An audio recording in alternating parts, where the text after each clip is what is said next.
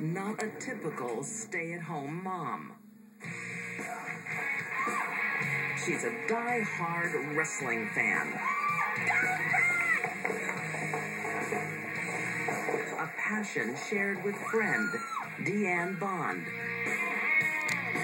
She